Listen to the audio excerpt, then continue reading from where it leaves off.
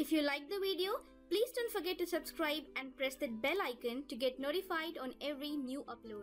Assalamu alaikum. Today I'm going to study about no, today you are going. No, today we are going to study about. Assalamu alaikum. Today we are going to study about the periapical cyst or the radicular cyst. Periapical or the radicular. So I just restored my computer.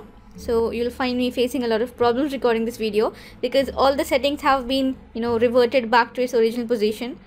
So everything, you know, is going to be difficult for me and you might not be able to see the cursor in this video because I tried figuring out how to get back the pen cursor but I was unable to do so. I forgot how I did it before. Anyways, okay, so this periapical cyst or the radicular cyst has few other names like the apical periodontal cyst or the root end cyst.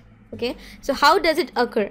The first question is how does it occur? So, in short, we have a teeth, okay, and it gets caries. This teeth, it gets caries, and we also know that we have our pulp here. So this caries, it enters the pulp and means the infection enters the pulp and then reaches the apex of the tooth. And here a granuloma is formed okay as a defense mechanism.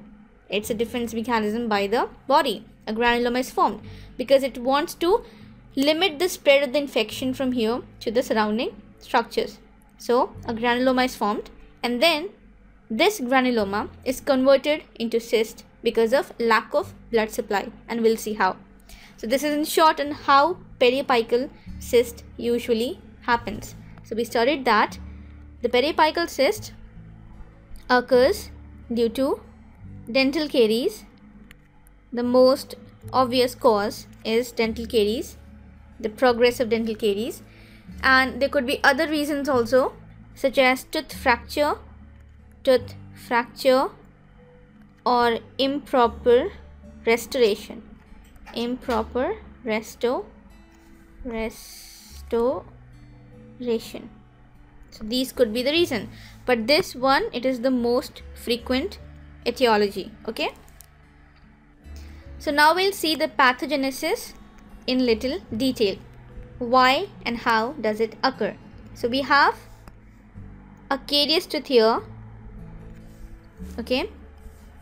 And this cyst is classified as inflammatory because what happens is there is pulpal necrosis. The caries progress and our pulp it it dies. So our pulp it dies and then there is pulpal necrosis and then there is periapical inflammatory response. That is why it is classified as inflammatory cyst. It occurs because of inflammation so this inflammation will stimulate the epithelial rest of Malassez.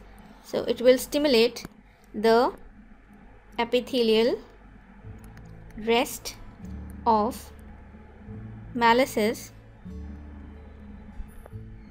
which are found in the apical periodontal ligament and there will be formation of this granuloma here. So these epithelial rest of Malassez, they have a very important feature that they can differentiate into any type of epithelium, which means that they are pluripotent. Okay. So these cells, they play a central role in the formation of radicular cyst. So this granuloma which is formed, it is a rich vascular area.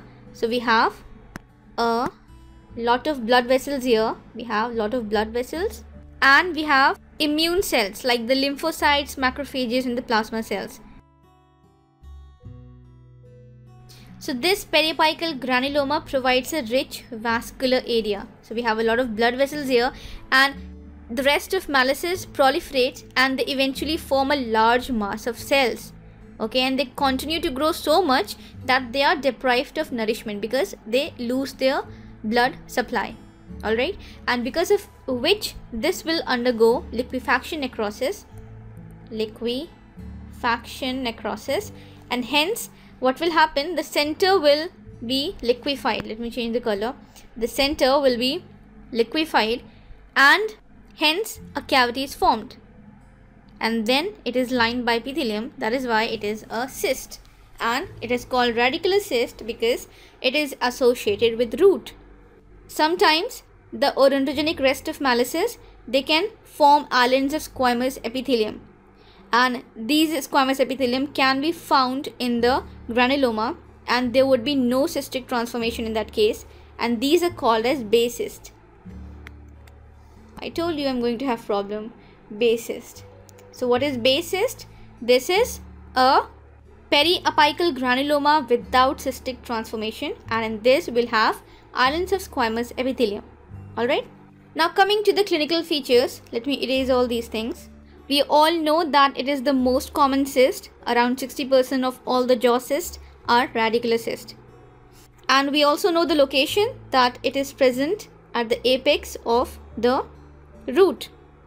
Now just keep in mind that this cyst is usually asymptomatic. And usually this cyst will be found in routine dental examination.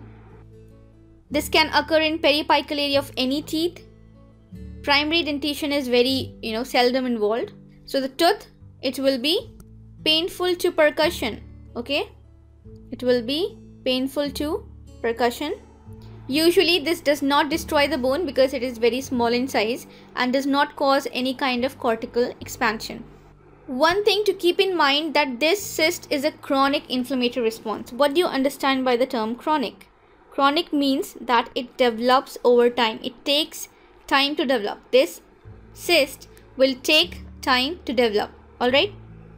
But sometimes what happens is there will be acute exacerbation of the inflammatory process. Means this was progressing slowly but achanak se kya hua? The speed of progress became very fast and we call it the acute exacerbation of the inflammatory process. And in that case an abscess will be formed which is called as the periapical abscess. And then it can proceed to cellulitis cellulitis okay? And then draining fistula etc okay? Now in the radiographic features obviously you will see a radiolucent area in the periapical region of variable size. And it will be well delineated and you know it will have a marked radio opaque rim most likely but people have conducted many studies and they have indicated that it is not possible to you know establish the diagnosis of cyst or granuloma unless the lesion is larger than 2 centimeter in diameter. And obviously it will cause root resorption of the adjacent teeth. So if you have a teeth here it will cause root resorption of this teeth because of its size obviously okay? Now this logical features we are going to study this logical features in a different video. Coming to the treatment. So the treatment of radicular cyst it consists of the extraction of the involved teeth and careful curettage of the periapical tissue. What you do? Extract the teeth and you curettage this cyst. Sometimes you can also carry out root canal therapy and you can do apicectomy of the cystic lesion. So if you do the surgical procedure very thoroughly, this cyst is not going to occur, okay? But if you leave some remnants here, it will, you know, obviously reappear. If you found the video helpful, kindly don't forget to subscribe and share the video and press that like button. Also, I'm not at all happy with the video because I did not have that cursor effect and that is really necessary for, you know, just, you know, keeping you all engaged. I hope I get it fixed soon. Thanks for watching. Allah Hafiz.